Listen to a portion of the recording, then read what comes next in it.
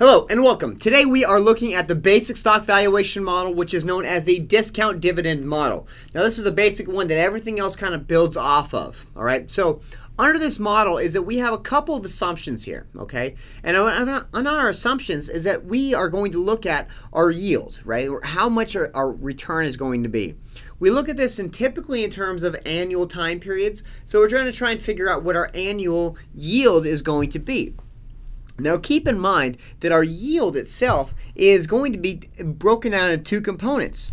The first component is what is known as our dividend yield. Okay, so we have our dividend yield. This is how much the company actually pays out in dividends, whether it's quarterly, semi-annual, annual, how much they are actually paying out in dividends, how much they're distributing to their shareholders. Okay, so that's one component. Okay, then we have another component that's going to come into this, and this is that capital gains yield. Okay, and this capital gains yield is basically the change in price. We can also call this, okay, aka this is the price appreciation yield. Okay, so we have our dividend yield plus our capital gains yield. How much has the price increased over the last year? Okay, so if we are now trying to do this, we're trying to figure out, hey, what is the price today, right? We have a subscript of zero. P sub zero means the price today. P sub 1 is going to be the price in one year from now, okay? So what we're looking at here is that we're going to look at the the price today is going to be given by these two components of the yield, okay? And the first part is that dividend yield.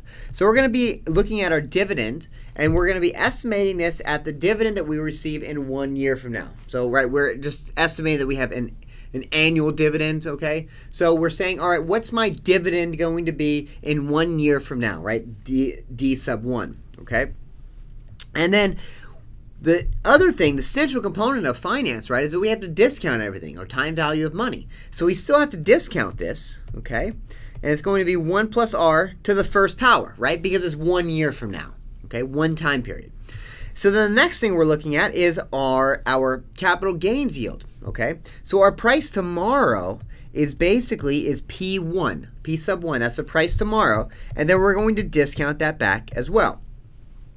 Now, what we see in this is that we're going to be looking at the price next year. So if we're evaluating the price today, we're saying, all right, what is our expected dividend over the next year going to be? That is this component right here the, our dividend over the next year. And they were saying, all right, what, what am I going to be able to sell this for next year if I want to? What's the value next year going to be? And that is what's given by that P1 right here. Okay.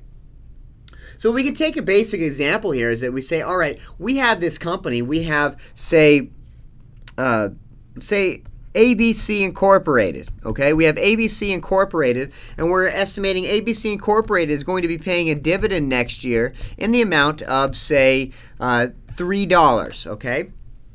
And we did some analysis and we said, all right, our price next year is going to be $28. Okay, and we say that's what our expectation is.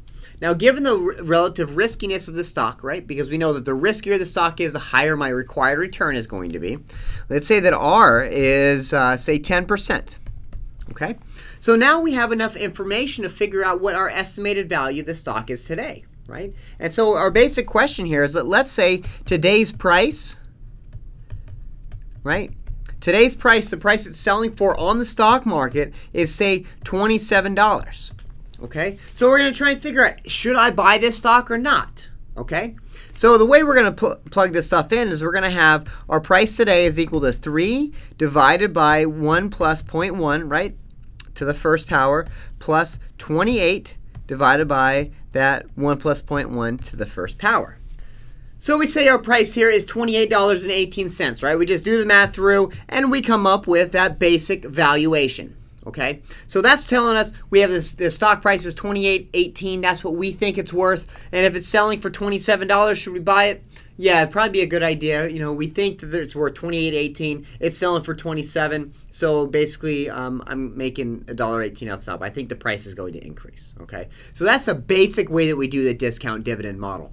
The next video that we're looking at is going to be an extension of this because we can take this basic model and stretch it out just a little bit. Okay.